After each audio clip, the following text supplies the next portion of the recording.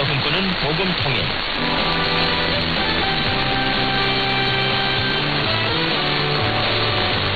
앞으로 할 일의 절차와 방법, 그리고 규모 따위를 미리 헤아려서 작정함. 이것을 계획이라고 합니다. 보통 계획적인 사